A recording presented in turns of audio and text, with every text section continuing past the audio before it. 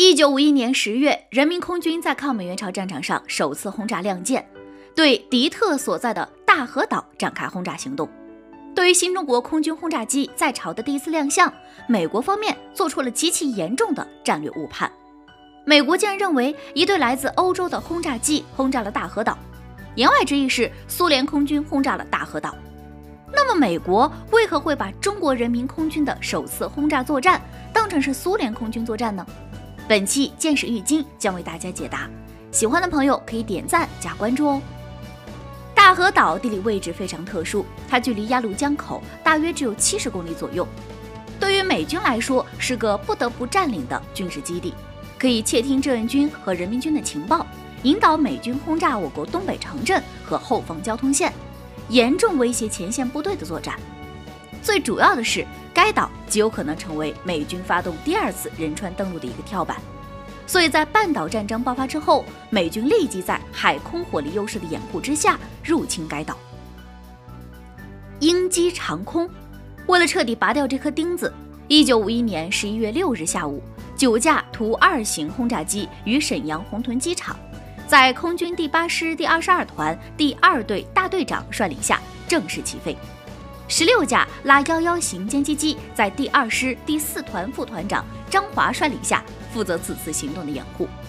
同时还有第三师第七团出动的二十四架米格幺五型歼击机负责警戒支援。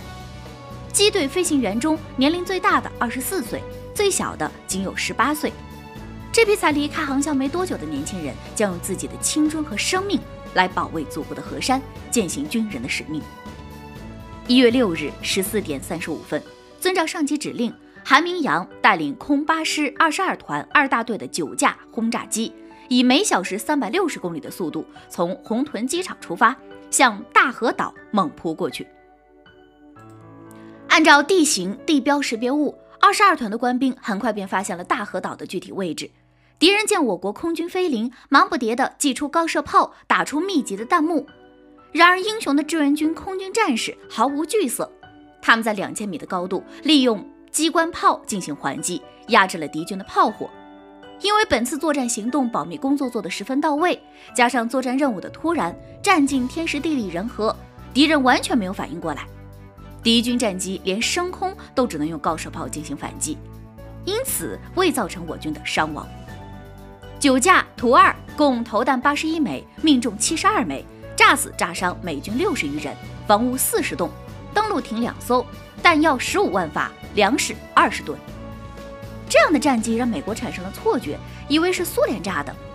美国之所以能产生苏联空军轰炸的判断，其原因就在于美国方面认为人民空军刚出舰，没有什么经验。更为重要的是，中国轰炸大和岛的轰炸机为苏联的图二型轰炸机，正儿八经的苏联制造。这使得美国方面判断。苏联人投入飞机轰炸了大和岛，结合当时中苏空军的实力，就发现美国人的判断是有依据的。冷战时期，苏联空军是仅次于美国空军的第二大空中作战力量。这支空军力量经过伟大的卫国战争的洗礼，已经有极其强大的作战能力。在朝鲜战争爆发前后，苏联空军装备了八百多架模仿 B 二九的图四轰炸机，具备了跨洲际轰炸的实力。如果当时的美国和苏联爆发武装冲突，苏联的图四将在欧洲地区展开轰炸作战，威胁北约。所以，在美国方面看来，苏联空军既然有战略空袭美国的实力，其就具备空袭大和岛的实力，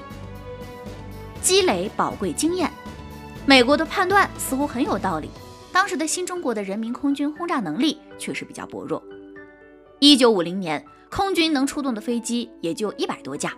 但经过一九五一年刘亚楼将军的突击建设，我军当时的空军作战力量至少有一千九百架可以参战的飞机。